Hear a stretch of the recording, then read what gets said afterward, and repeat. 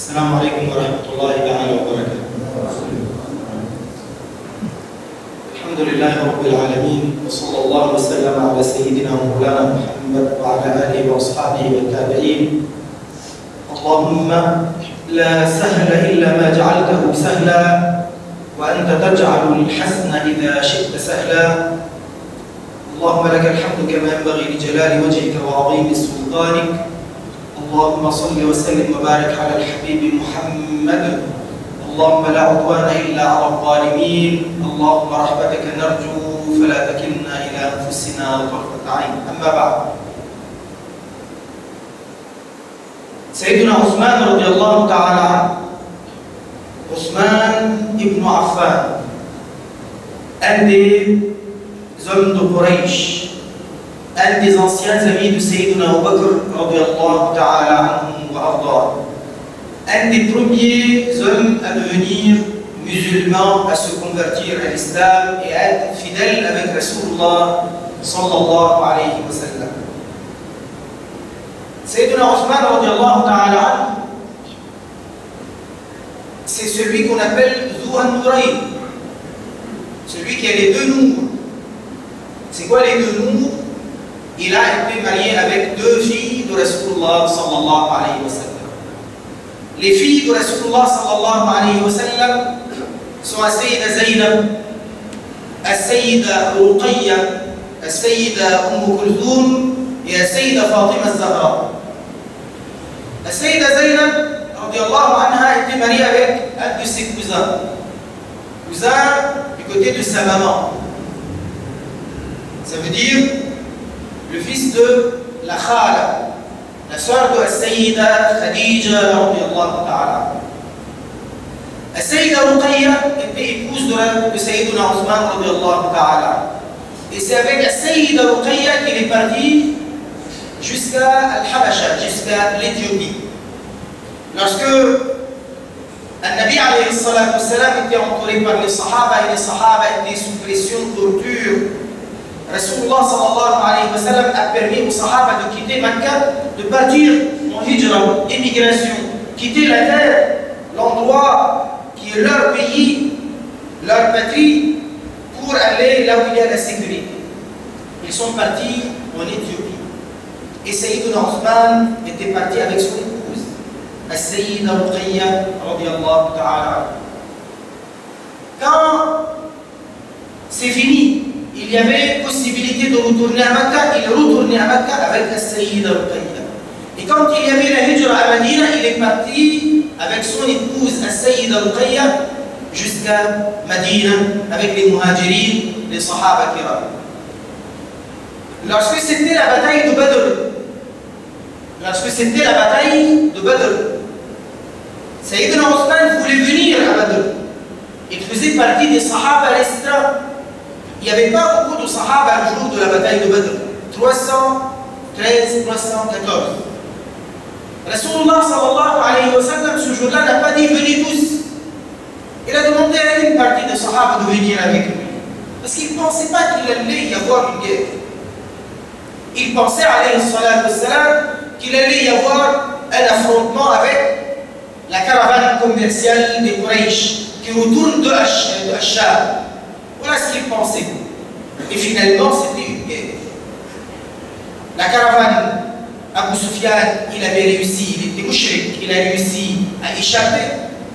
Et puis après, il a envoyé quelqu'un à Quraysh pour leur dire votre caravane en danger. Ils sont venus à peu près 1000 guerriers. Et il aime la guerre. Sayyidina Othman, pareil, il voulait faire partie de ces sahaba à venir avec Rasulullah sallallahu alayhi wa sallam à Badr. Mais son épouse, la Sayyida Ruqayya, était malade, très très malade. Elle ne pouvait plus s'occuper d'elle-même. Alors Rasulullah sallallahu alayhi wa sallam a dit à Sayyidina Othman, tu restes avec ton épouse, la Sayyida Ruqayya. Lorsque Rasulullah sallallahu alayhi wa sallam, c'était le 17 Ramadan, avait gagné la bataille de Badr, le Sahabi envoyé par Rasulullah sallallahu alayhi wa sallam jusqu'à Medina pour annoncer la bonne nouvelle. Rasulullah a gagné la guerre, a gagné la bataille. Il arrive le jour même, à Sayyid préparé. Sayyidina Ousmane ne pouvait pas être avec eux à Badr. Ce qui s'était passé, lorsque Rasulullah sallallahu alayhi wa a gagné la bataille, il y avait beaucoup à gagner de la part des kafirin, beaucoup à gagner de la part des mouchikines. Mille guerriers, ils ne sont pas venus seulement avec leurs habits, avec leurs et avec leurs armes. Ils sont venus avec beaucoup de munitions. Ils sont venus avec des chameaux qui portent des choses à manger, à boire, etc. Tout ça a été partagé parmi les Sahaba qui ont participé à la bataille. Sauf Ousmane, il n'a pas participé à la bataille, mais Rasulullah, il l'a compté parmi les Badri. Sayyidina Ousmane, il n'était pas à Badr. Mais Rasulullah sallallahu alayhi wa sallam l'a compté parmi les Badriyin parce que c'est lui-même qui lui a dit tu restes à Medina. Rasulullah sallallahu le jour de l'Hudaybiyah, c'était l'année 6, il a envoyé un Nabi alayhi salatu wa sallam, un homme dignitaire parmi les Quraysh, un homme que les Quraysh respecteront, que les Quraysh ne pourront pas frapper, tuer, pour négocier avec les Quraysh. Pour qu'ils leur disent laissez Rasulullah sallallahu alayhi wa sallam et les Sahaba venir faire Umrah. Pourquoi vous les empêchez de faire Umrah De leur côté, les Quraysh, ils avaient envoyé des émissaires, un après l'autre, pour dire à Rasulullah sallallahu alayhi wa sallam non, on ne te laisse pas entrer à Mecca. L'émissaire de Rasulullah sallallahu alayhi wa sallam était qui? Était Ousmane ibn Affan radiallahu anhu. Quand on a demandé à Sayyidina Abdullah ibn Umar, Abdullah ibn Umar, sahabi, fils de Sayyidina Umar al-Farouk, le grand sahabi, on lui dit Et alors, comment se fait-il que n'était pas le jour de l'Hudaybiyah présent aux côtés de Rasulullah sallallahu alayhi wa sallam? Il a dit normal. Rasulullah sallallahu alayhi wa sallam ce jour-là, il a choisi parmi ses sahaba l'homme qui est le plus capable d'arriver à Mecca, de faire les négociations, parce qu'il est d'une très grande famille et il pensait que personne de Quraysh ne peut le toucher. Il a choisi quelqu'un qui lui est cher, porte-parole de Rasulullah sallallahu alayhi wa sallam, et de l'autre côté, quelqu'un qui est dignitaire chez les Quraysh. Et il n'a pas trouvé pour cette affaire-là mieux que Ousmane ibn Affan radiallahu ta'ala. Et alors, رسول الله صلى الله عليه وسلم إلى دومونديا من دوني وصحابه كرام تدني بيعه ولا بيرسل بيعه دو رضوان دو الرضوان سي كوا رضوان لاجريمون رب العالمين القبول رب العالمين رضي الله عنهم سرا رضي الله عنهم الله إلى ردني سرطان يا رب il y avait 1500 sahabis ils ont donné tous bay'a Allah Ta'ala a dit dans le Coran al-Karim لقد رضي الله عن المؤمنين Allah a donné son rida à ces mu'minines là إذ يبايعونك تحت الشجرة parce qu'ils t'ont donné bay'a sous l'arbre c'était à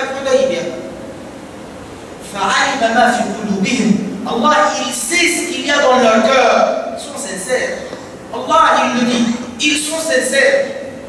Il sait ce qu'il y a dans leur cœur on a demandé mais anhu il n'était pas. Ce jour-là il n'était pas. Il était à Mecca. Et alors il était à Mecca. Rasulullah sallallahu alayhi wa sallam, il l'a compté présent. Quand ils ont donné bay'a, un après l'autre, chacun il vient, il attrape la main de Rasulullah sallallahu alayhi wa sallam, il lui donne bay'a. Sayyidina Othman, pas présent. Mais Rasulullah, il l'a compté présent. Comment il a dit? Il a pris sa main droite, il a dit cette main-là, c'est celle de Othman. Et il a attrapé sur l'autre main, il a dit voilà la bay'a de Othman. Donc Othman, si les gens pensent qu'il n'était pas présent, eh bien Rasulullah il l'a compté présent. Et donc, لقد رضي الله عن المؤمنين إذ يبايعونك تحت الشجرة Allah a donné son rida à ceux qui t'ont donné bay'a sous l'arbre, y compris Ousmane, radiallahu ta'ala.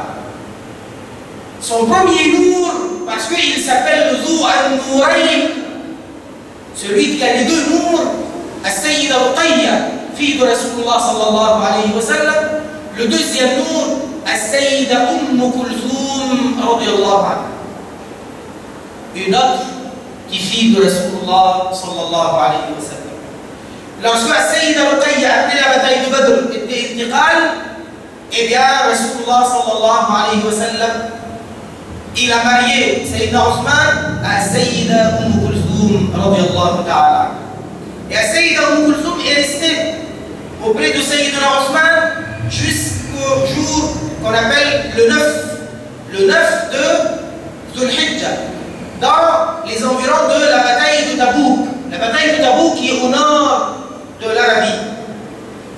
À cette date-là, Sayyida Umm Kulthum était intiqal. Rasulullah sallallahu alayhi wa sallam était présent. Rasulullah sallallahu alayhi wa sallam, c'est lui-même qui a fait salat al-janaza pour sa fille, Sayyida Umm Kulthum. Sayyidina Othman, il était chagrin.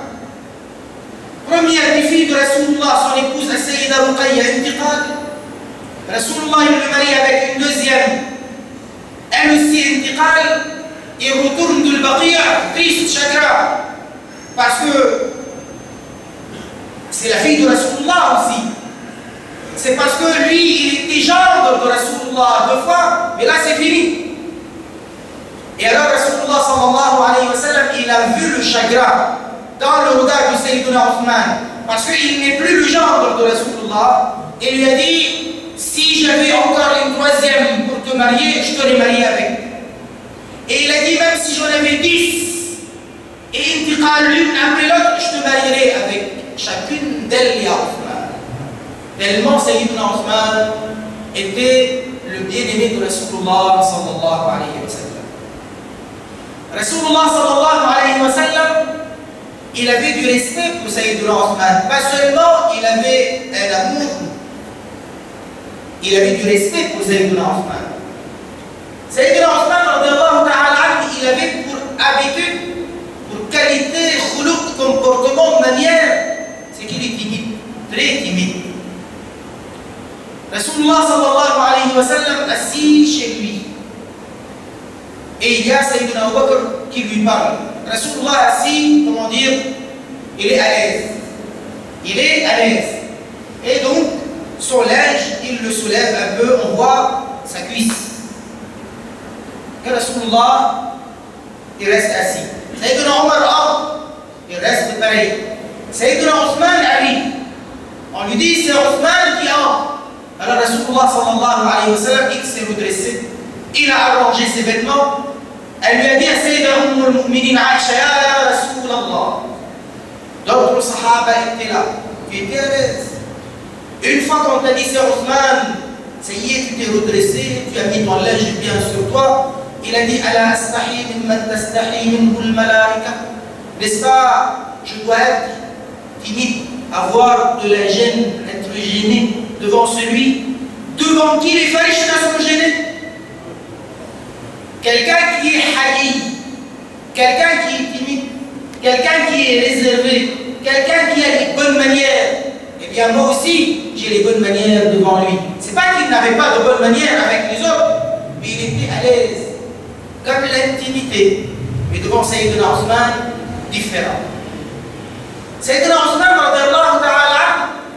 lorsqu'il s'est converti à l'islam avec les premiers, Allah Ta'ala a dit والسابقون الأولون من المهاجرين والأنصار والذين اتبعوهم بإحسان رضي الله عنهم ورضوا عنه السابقون الأولون السابقون ceux qui ont devancé tout le monde qui ont été les premiers à devenir musulmans Al-Awwaloun, les tout premiers parmi les muhajirin ça veut dire de Mecca de Quraysh y compris Sayyidina Abu Bakr, Sayyidina Omar, Sayyidina Othman, Sayyidina Sa'ad, Sayyidina Abdul Rahman ibn Auf, Sayyidina Othman, tout cela, Sayyidina Talha, Sayyidina Zubayr. les voilà السابقون الأولون من المهاجرين Allah Ta'ala dit والأنصار ça veut dire les premiers de Médine à devenir musulmans ceux qui, ceux qui ont devancé les autres qui ont été les premiers à devenir musulmans والذين اتبعوهم بإحسان Et ceux qui les ont suivis, suivi leur chemin, leur exemple, d'une manière excellente. Ça veut dire pas de pas d'abus, pas de meurtre, pas tromper, pas tricher, pas cause mentir, pas faire fitna. Ceux qui ont suivi leur exemple, ceux-là, anhum wa Allah leur a donné son rida et eux ils sont satisfaits, contents d'Allah Azza wa Jalla. Sayyidina Othman, donc, il en fait partie. Et c'est pourquoi Rasulullah sallallahu alayhi wa sallam, dans le célèbre hadith, lorsqu'il dit Abu Bakr fil Jannah, Omar fil Jannah, Othman fil Jannah, Ali fil Jannah, Abu Ubaida fil Jannah, سعد بن أبي وقاص في الجنة عبد الرحمن بن عوف في الجنة الزبير بن العوام في الجنة طلحة بن عبيد الله في الجنة إسعيد إسعيد ابن زيد إليوسي في الجنة ولديس لعشرة بشرة اللي زمهم دي انصام إيه؟ أهل السنة والجماعة إليس ولا لديس يا de المؤمنين les mu'minines, de toutes les ummas, pas seulement de notre umma. Les meilleurs de tous les mu'minines, après les Abiyah, de toutes les ummas. Et les meilleurs de ces Ashara dans l'ordre. Sayyidina Abu ensuite Sayyidina Omar, ensuite Sayyidina Othman et ensuite Sayyidina Ali ta'ala. Après, les six qui restent, on ne sait pas qui est meilleur que qui. Allahu A'lam. Dans notre dîme, il n'a aucun droit de dire ça c'est haq ou ça c'est faux s'il n'y a pas texte de Coran et de Sunna. Nous sommes Sunna et Jama'a. Nous, nous ne sommes pas des bid'ati. Nous ne suivons pas la passion telle qu'elle vient. Nous sommes fidèles à Coran et la Sunna de Habib sallallahu alayhi wa sallam. Et la texte et la la savoir. On ne peut pas savoir. Et la texte, Coran et Sunna qui le confirment, on peut savoir. Nous, on ne reçoit pas la révélation. Sayyidina Jibril, alayhi salam, il vient annoncer à Rasulullah pas à quelqu'un d'autre. Après lui, c'est fini. Et alors, les ulama de Sunna ils disent, après Sayyiduna Ali, on ne peut pas savoir qui est meilleur que qui parce que a aucun texte qui le dit. Et c'est comme ça le respect des Sahaba et le respect des textes de Rasulullah sallallahu alayhi wa sallam. Sayyidina Othman, à la fin de sa vie, il a eu beaucoup de reproches de la part des gens. Ils ont critiqué sa politique. Ils ont critiqué ses manières. Ils ont critiqué beaucoup de choses. Sayyidina Osman, il était resté au pouvoir khalifa pendant 12 années. Les six premières années, tout le monde était content, satisfait. Il disait, la justice, c'est comme Al-Farouq Omar mais les manières meilleures encore, souples, agréables, souriants, généreux, charitables, plus que Omar. Mais les six années, à la fin, il y a des gens qui commençaient à critiquer la politique de Sayyiduna Osman. Critiquer, pas critiquer, Sayyiduna Osman, il est Zunnouraï. Il est le gendre de foi de Rasulullah. Il est Jannati. Ceux qui sont contents ou pas contents, il est Jannati. Finalement, critiquer ou pas critiquer, c'est de ta'ala Allah ta'ala il sait qu'il est sincère. Allah ta'ala il lui a donné son kaboul et son rida. Sayyiduna Rasulullah sallallahu alayhi wa sallam, il lui a dit, toi tu es shahid. Un jour un des sahaba, un jour un des sahaba, Rasulullah sallallahu alayhi wa sallam, à sahaba en question. Et lui dit, tu vois cet homme-là qui va passer, il le voit. Et lui dit, un jour, il va y avoir une grande fitna. Une fitna, on a l'impression que c'est les bœufs qui se frappent, se cognent, tellement c'est la pagaille. Eh bien, ce jour-là, cet homme-là et ceux qui sont avec lui, ils sont à la Il a dit, je suis parti pour voir qui est-ce. C'était Ousmane ibn Affan. C'est pas la question de la critique qui va nous arrêter maintenant. Mais lorsque Ousmane ibn Affan, il a répondu à cette fête. On lui a dit, Amir al-Mu'minin, ces gens-là, c'est des criminels. Ils veulent te tuer. Il a dit, mais de quel droit ils vont me tuer? Rasulullah sallallahu alayhi wa sallam a dit, on n'a pas le droit de tuer un musulman à moins qu'il quitte l'islam, il devient kafir. Voilà, quand il fait zina, alors qu'il est marié, ou il était marié auparavant. Ou alors, lorsque lui, il est criminel lui-même, il a tué un musulman. Il a dit Wallah, Wallah, depuis le jour où j'ai connu Rasulullah sallallahu alayhi wa sallam, j'ai jamais aimé autre chose que dire l'islam. Jamais j'accepterai, même si on me découpe en rondelles, de quitter dire l'islam. Il n'y a rien que j'aime plus que mon dîme dire l'islam. Pourquoi alors? Voilà, zina, il a dit Wallah, j'ai jamais fait zina, même pas dans la jahiliya. Même pas dans la jahiliya. J'ai fait zina et ni dans l'islam. Pourquoi alors on va me tuer? Tuer un musulman? J'ai jamais tué un musulman. J'ai jamais tué, j'ai jamais ordonné de tuer un musulman. Pourquoi alors ils veulent me tuer alors? Sayyidina Othman, pas seulement il n'a pas commis zina. Sayyidina Othman, il avait les meilleures manières parmi les sahaba. Il était connu comme celui qui a le, le comportement parfait et il était réservé et timide. Mais en plus de cela, ni cause mentir, ni faire riba, ni faire namima, ni faire rulm, ni participer, ni de loin ni de près, à tout ce qui est mauvais caractère. C'était Sayyiduna Othman, ta'ala, tranquille. Et si on parle de Sayyiduna Bakr, qui était tranquille, mais quand il prend la parole, il est fort. Quand il prend les décisions, il était fort. Dans guerres, il était fort.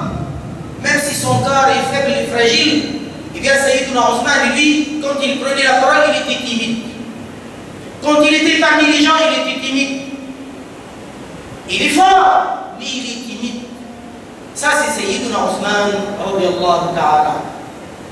Sayyiduna Osman, radiallahu ta'ala, lorsqu'il y avait la hijra avec Rasulullah sallallahu alayhi wa sallam, et quand il est arrivé à Medina, lorsque Rasulullah sallallahu alayhi wa sallam avait besoin de quoi que ce soit, parmi les hommes les plus généreux autour de Rasulullah sallallahu alayhi wa sallam, on comptait toujours parmi ces hommes-là sur Sayyiduna Osman radiallahu ta'ala.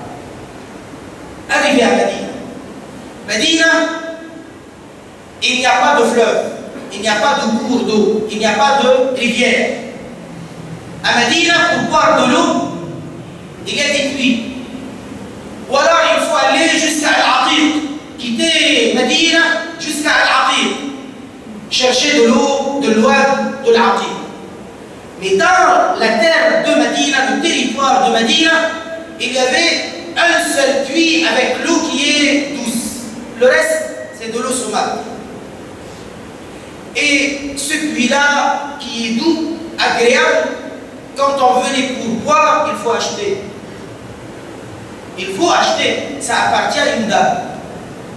Rasulullah sallallahu alayhi wa sallam, il a demandé à Othman Il a dit à Othman, je te propose une chose. Tu ne veux pas acheter ce puits-là et tu l'offres fils pour tout mu'min. Et toi, tu comptes ton seau comme n'importe quel musulman. Ça veut dire c'est pas à toi. Tu comptes ton seau, le seau qu'on cherche l'eau, pareil comme tout musulman. Tu le donnes fils là et toi, je t'offre un autre puits dans Al-Jannah meilleur. Alors Sayyiduna Othman, il est allé, il l'a acheté. Cette dame-là, elle ne voulait pas vendre. Elle était difficile. Elle s'appelait Rouma. Elle s'appelait Rouma. Et celle-là, elle a su que les musulmans, ils veulent acheter, ils veulent acheter. Il était obligé de payer 25 000 pièces en or pour acheter ce puits-là. 25 000 pièces en or. Ça veut dire des milliards, pas seulement des millions. Une pièce en or, c'est quelque chose d'énorme, surtout à cette époque. Qu'est-ce que ça fait 25 000 pièces en or Ça veut dire des milliards. Peut-être un milliard, je ne sais pas comment les compter. Beaucoup, beaucoup d'argent et c'était son argent à lui. Fils sabilillah. Et Rasulullah sallallahu alayhi wa sallam, il lui a dit Tu l'offres fils sabilillah et je te donne garantie et puis meilleur que cela dans le Jannah. Plus tard, dans le Masjid Nabawi, le Masjid Nabawi devenait petit. De plus en plus de Sahaba dans le Masjid. Rasulullah sallallahu alayhi wa sallam est allé voir Othman, de nouveau Othman, et lui dit à Othman, à côté du Masjid, il y a une terre qui appartient à des gens, ils mettent leur chameau. Tu ne veux pas l'acheter et l'offrir fils là pour qu'on agrandisse le masjid, Baytullah. Et moi je te donne la garantie, terre meilleure que cela dans la Jannah. Il a dit, je suis allé, je l'ai acheté, je l'ai offert fils là. Beaucoup plus tard, l'année 9, l'année 9, Rasulullah sallallahu alayhi wa sallam, il s'attendait à ce que les Byzantins, les Byzantins, les Grecs, venant de Char, attaquent Madina.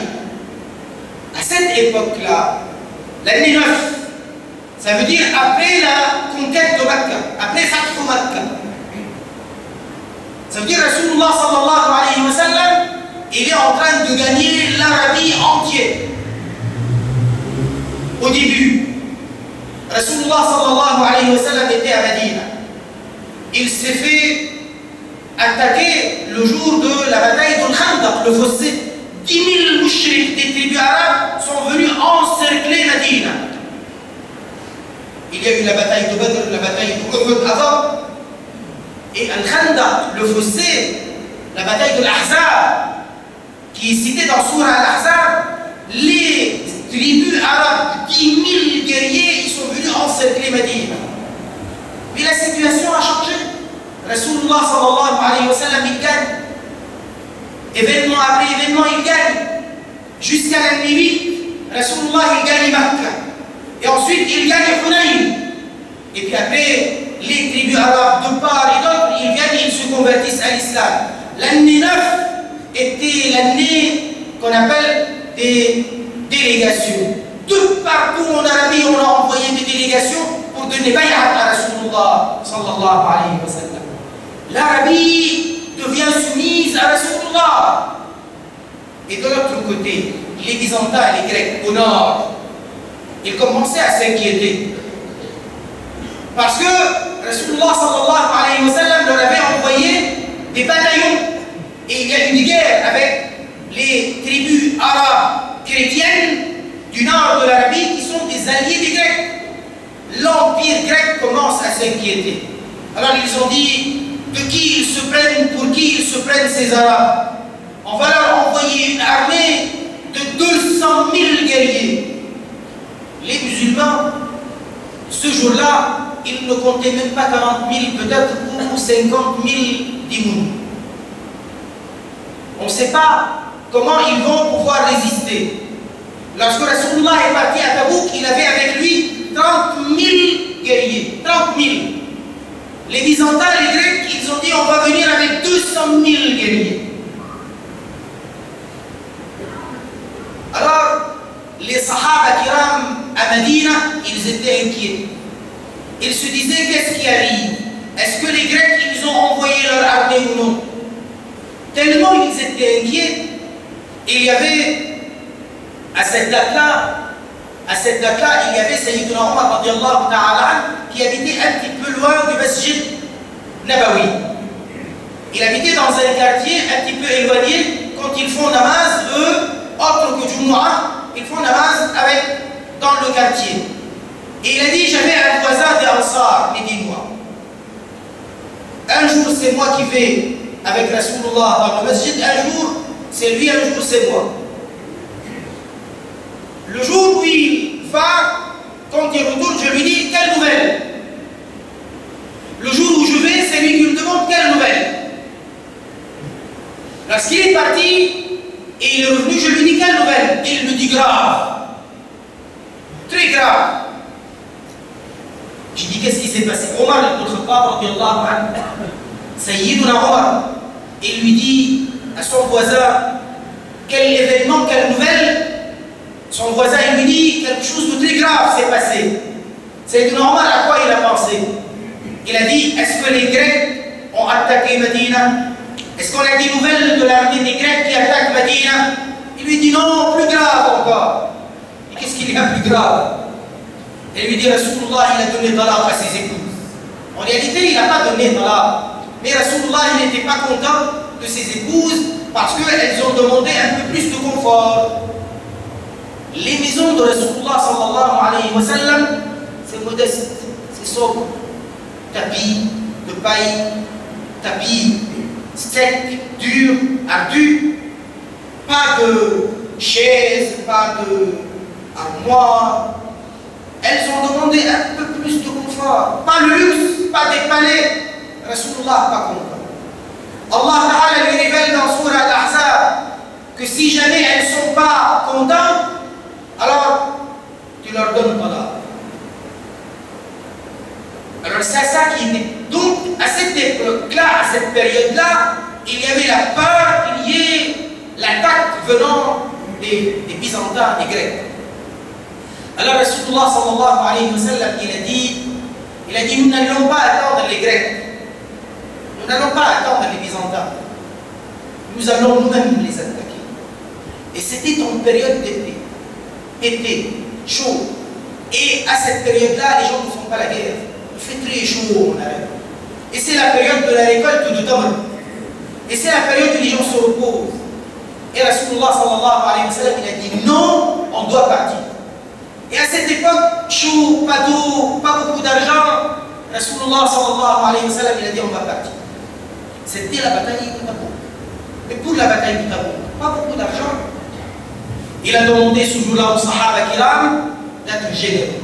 C'était ce jour-là, Sayyidina Bakr, il a donné tout son argent. Sayyidina Omar la moitié de son argent. Mais Sayyidina Othman, il était dans le masjid. Rasulullah, il était sur le membre, il est en train de dire aux Sahaba, soyez charitables. Allah Ta'ala vous donne le mieux dans le Jannah. Sayyidina Othman, il se lève, il dit Ya Rasulallah, j'offre à cette armée 100 chameaux. 100 chameaux avec tout le nécessaire. Pas le chameau seulement, le chameau avec ce qu'on met sur le chameau, avec tout ce qu'il faut. Rasulullah, il descend une marche et il incite encore à la sadaqa. Et Sayyidina Othman, il il dit deuxième centaine. Et il descend une marche et Sayyidina Othman, et il, il incite de nouveau. Et Sayyidina Othman, il il dit une troisième centaine, Mais Rasulullah sallallahu alayhi wa sallam, par la suite, il continue à dire donnez fils Parce qu'il y a beaucoup de sahaba, pas d'argent, pas capables de venir. Ils ont besoin de, pour eux d'acheter des armes, la nourriture, tout ce qu'il faut pour une expédition militaire aussi importante. Eh bien, Sayyidina Othman est parti chez lui, il est revenu, il avait avec lui 1000 pièces en or. Il l'a versé, il l'a versé entre les jambes de Rasulullah sallallahu alayhi wa sallam. Rasulullah, il prend pièce sur pièce et il dit, Sayyidina Othman, il a dit, Othman, maintenant il a gagné al Jannah. Qu'est-ce qu'il peut faire N'importe quoi il fera un jour, tout est effacé, il est Jannah. Il dit على عثمان ما على عثمان ما عمل بعد اليوم. Ça veut dire ne aucun risque après aujourd'hui. Après aujourd'hui, quoi qu'il fasse, Allah subhanahu wa ta'ala, il l'a déjà accepté. Rasulullah sallallahu alayhi wa sallam, cette nuit-là, après avoir reçu tant de charité par-ci et par-là, bien entendu, il a remercié tout le monde. Mais par rapport à Othman en particulier, il est resté debout jusqu'au Fajr, levant les mains il dit Ya Allah, accepte Othman. Ya Allah, ne laisse pas Othman. Il n'a pas arrêté de faire des doigts pour Othman jusqu'à Al-Fajr, particulièrement Sayyidina Othman Et on raconte que pour cette bataille en particulier, on raconte pour cette bataille en particulier que Sayyidina Othman il a donné plus que les autres parce que Sayyidina Rasulullah sallallahu alayhi wa sallam il a dit il y a beaucoup de sahaba voilà ils n'ont rien. Ils veulent venir et nous n'avons pas les moyens de les amener avec nous. Ni les armes ni la nourriture ni rien du tout. Qui sait qui va leur donner les moyens de venir et je lui garantis Al-Jannah. Alors Sayyidina Othman, il il leur a donné tout le nécessaire pour qu'il parte et pour qu'il gagne lui-même Al-Jannah. Sayyidina Othman, un jour, il était avec Sayyidina Omar, avec Sayyidina Abu Bakr, avec Rasulullah sallallahu alayhi wa sallam. Ils étaient à Makkah. Ils étaient sur une des montagnes de Makkah. Certains disent que c'est la montagne Hira. La montagne Al-Nour, là où il y a Hira. Celle-là où il y a une montagne de Makkah en tout cas. La montagne a été secouée. Secouée et les roches tombaient. Les roches tombaient carrément en bas, en bas, en bas. Donc il y avait un risque qu'eux-mêmes tombent. Qu'est-ce qu'il fait Rasulullah sallallahu alayhi wa sallam? Il a frappé le sol avec son donner un coup de pied au sol. Et lui dit Calme-toi, montagne. Calme-toi, montagne. Arrête de bouger. Sur toi, il y a maintenant un ami, un siddiq et deux shahids. Un nabi, un siddiq et deux Othman, deux shahids. Qui est le siddiq Al-Siddiq al-Akbar, radiallahu anhu. Les deux shahids, Sayyidina Omar al-Farouk et Sayyidina Ali, et Sayyidina, Sayyidina Omar al-Farouk et Sayyidina Othman, radiallahu ta'ala. Sayyidina il le savait. Les Sahaba ils le savaient. Lorsque Sayyidina Othman, à un moment donné, il était critiqué, il s'est levé parmi les Sahaba, il leur a dit Je vous demande un témoin. Ce n'est pas vrai tout ça. Ce n'est pas moi qui ai acheté le puits de Rouma et Rasulullah a dit, je lui garantis, tu es meilleur dans la Jannah, ils ont dit oui. Vous n'êtes pas témoin lorsque c'est Rasulullah qui a dit qu'il y a Othman achète la terre à côté du masjid, agrandit le masjid, et tu as une terre meilleure que cela pour toi dans la Jannah. Vous êtes témoin, ils ont dit oui, nous sommes témoins. N'est-ce pas Rasulullah a dit ceci? N'est-ce pas Rasulullah a dit cela? Et tout le monde parmi les Sahaba ils disent Oui, nous sommes témoins. Il dit Allah. Allah. Ils sont témoins pour moi. Et c'est qui? C'est les Sahaba. Il a dit Moi je ne prends pas témoin d'autre que les Sahaba. Je ne veux que les Sahaba qui soient mes témoins. Et si les Sahaba sont les témoins de Sayyidina Othman, il a les meilleurs de la terre qui sont ses témoins. Qu'est-ce qu'il veut d'autre? Il a les chouhoud, les shahids, les témoins acceptés par Allah Azza wa Sayyidina Osman il était parmi ces sahaba kiram qui étaient les meilleurs par rapport à leur comportement, mais aussi par rapport à leur ilm Il était de ces sahaba kiram qui connaissaient le Coran par cœur. Tous les sahaba ne connaissaient pas le Coran. Lui, il connaissait le Coran par cœur.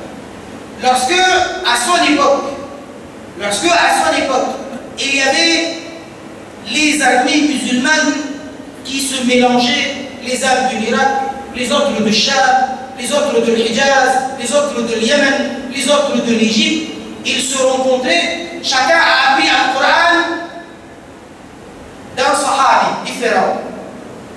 Il pouvait y avoir, parce qu'il y a plusieurs récitations le Coran possibles. Il y a plusieurs récitations le Coran possibles. Comme on entend aujourd'hui les mots du Coran en train de réciter selon Watch, selon Hafs, vous entendez le Cheikh al-Minshawi, le Cheikh al-Qusari, le Cheikh Abdul Basit, parfois il récite comme ci, parfois il récite comme ça. On appelle ça les sept qira'at du Coran. Eh bien, les Sahaba, ils ont enseigné ces qira'at du Coran aux musulmans. Mais tout le monde n'est pas à l'écoute Alors, lorsque les uns récitaient le Coran d'une manière un peu différente des autres, les autres étaient en colère. Disaient, c'est pas comme ça Coran. Ça, c'est faux. Alors, ils étaient à deux doigts de se faire la bagarre, la guerre. On a demandé à Sayyidina Othman de régler cette affaire. Alors, il a écrit avec d'autres sahaba six exemplaires du Coran al-Karim. On appelle ça les masahif Uthmaniya. Les masahif Uthmaniya de l'époque d'Othman. En partie lui-même de sa propre main. Et il a gardé un des exemplaires dans sa maison. Un des exemplaires était avec la Sayyida Hafsa, Umm al-Mu'minin. Et puis après, il a envoyé les autres masahif en Irak, à Hacham, au Yémen, en Égypte, pour que les musulmans prennent l'exemplaire du Coran al-Karim comme référence et comme ça, il n'y a pas de guerre, il n'y a pas d'khtilaf sur le Coran al-Karim. Qui a réglé cette affaire? Sayyidina Othman, radiallahu ta'ala Sayyidina Othman, à son époque, le territoire musulman était comme l'avait laissé Sayyidina Omar radiallahu ta'ala c'est lui qui l'a agrandi, c'est lui qui l'a élargi, c'est lui qui a envoyé les armées musulmanes que les armées musulmanes arrivent jusqu'à l'Afghanistan et jusqu'à ce qu'on appelle aujourd'hui le Pakistan, Sindh. Une partie du Pakistan, on l'appelle la Sindh. Les armées musulmanes étaient arrivées jusqu'à ce territoire-là de l'époque de Sayyidina Osman. Du côté de l'ouest, après avoir gagné une bonne partie de la Libye de l'époque de Sayyidina Omar, eh bien, Sayyidina Othman, c'est lui qui a élargi le territoire musulman jusqu'à ce qu'il gagne la Tunisie arrive jusqu'à Tanger au Maroc, ça veut dire jusqu'à l'océan. Il n'y a plus rien. Ce jour-là, le commandant de l'armée musulmane, Uqba ibn Nafa, il arrive jusqu'à la mer. Il n'y a plus rien. C'est la mer. Après, c'est l'océan. S'il veut prendre le bateau, il va jusqu'aux États-Unis après. C'est fini. Ou de l'autre côté au nord, c'est l'Espagne. Il arrive là-bas, il est sur son cheval, c'est une de Nafa. Il avance son cheval jusqu'à l'eau, les sabots du cheval dans l'eau, et qu'est-ce qu'il dit Uqba Il dit Wallah, si je connais un territoire derrière, j'irai pour la conquête de l'islam. À cette époque-là, Sayyidina Othman, il avait demandé aux Sahaba de participer aux batailles. Lorsque les Sahaba sont partis pour la bataille de la Tunisie, ils sont allés au sud de la Tunisie. Ils sont allés du côté sud. Au début, ils ont attaqué du nord, et puis après, ils ont attaqué du côté sud, là où il n'y a pas d'armée des Grecs ou des chrétiens, des, des, Romains ils sont allés dans une ville qui s'appelle Qayrawan. Qayrawan, aujourd'hui, c'est une ville très importante de la Tunisie. À cette époque, c'était une forêt il était sur les collines qui dominent la forêt.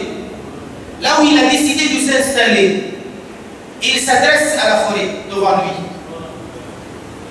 Il leur dit Ô habitants de la forêt, Ô habitants de la forêt, qui habitants de la forêt? Les fauves, les serpents, les scorpions, les loups. Ô habitants de la forêt, partez, quittez. Nous allons nous y installer. Et ils ont dit, ceux de l'armée, nous avons vu des colonnes, des fauves, partir. Les serpents, les scorpions, les loups, les singes, de toutes sortes, partir en colonne. Aucun animal n'est venu nous attaquer, personne n'a attaqué les animaux. Une fois que les colonnes sont finies, c'est là il a donné l'ordre de descendre et on a construit la ville de Qayrawa. C'était l'époque de Sayyidina Othman ibn Affan, radiallahu ta'ala. Sayyidina le jour où il a décidé s'attaquer à Afriqiya, on l'appelait Afriqiya à cette époque-là, la Tunisie. Et il y a des sahaba qui sont venus lui dire Nous avons entendu Rasulullah sallallahu alayhi wa sallam dire Celui qui entre en Afriqiya, celui qui fait la conquête de l'Afriqiya, c'est-à-dire la Tunisie actuelle, Allah ta'ala lui donne al-Jannah. Sayyidina Othman radiallahu ta'ala à chaque fois tentait promettre Jannah, il était parmi les premiers à avancer pour gagner. Sayyidina Othman ta'ala au moment où il était encerclé, les rebelles ne voulaient pas lui donner de l'eau et ils voulaient l'assassiner. Il y a des sahaba qui sont venus lui dire Nous ne savons pas quoi faire. C'est la pagaille et le désordre total à Madina. Ya Amir al-Mu'minin donne ordre. Mais on ne peut pas rester dans la pagaille tout ce temps-là. Qu'est-ce qu'il faut faire? Il leur dit soit tu donnes ordre qu'on leur fasse la guerre, qu'on les déloge, ou alors fais autre chose, dis-nous qu'est-ce qu'il faut faire. Il a dit Moi je ne donne jamais ordre de tuer un musulman. Ils lui ont dit, mais ils vont te tuer. Il a dit, si moi je donne ordre de les tuer, ils sont combien? Combien de dizaines? Combien de centaines? Peut-être qu'ils sont mille. Vous voulez que je tue mille protéger mon âme à moi tout seul Alors un seul qui est tué, moi, plutôt que mille, plutôt que ça, je préfère moi-même être le shahid plutôt que eux. Quelqu'un lui a dit, si tu veux, tu pars à Makkah. Il a dit non, ça c'est la terre de l'Hijra avec Rasulullah. Je quitte jamais la terre de l'Hijra avec Rasulullah. Ils lui ont dit, va à Sham. Il a dit, pourquoi vous voulez que j'aille dans Sham Je quitte le territoire de Rasulullah sallallahu pour aller dans Sham. Je reste là où je suis, même s'ils veulent me tuer. Je suis shahid. Et d'ailleurs, effectivement, Rasulullah sallallahu alayhi wa sallam lui avait dit un jour, il a dit, je te donne un qamis, quand tu le porteras ce qamis, il y a des gens qui vont venir te l'arracher ce qamis, n'accepte pas. Il a dit ce qamis là c'est la khilafa, et moi je suis khalifa de Rasulullah, jamais personne ne peut m'enlever le qamis de Rasulullah. Ainsi était Sayyidina Othman. Au moment où ils l'ont assassiné, ils l'ont égorgé. Il avait plus de 80 bananés Sayyidina Othman. Il avait un Coran al-Karim dans les mains. Il avait un Coran al-Karim dans les mains et le sang est tombé sur une ayah du Coran, du livre qu'il avait. Allah Ta'ala te suffira contre eux. Et effectivement, Allah a vengé le sang de Sayyidina Othman. Et tous ces rebelles injustes qui étaient contre Sayyidina Othman, ils ont fini mal. Et Allah Ta'ala a donné à Sayyidina Othman le Jannah. Eux, ils ont gagné le déshonneur. Et Sayyidina Othman, il a gagné tous les honneurs.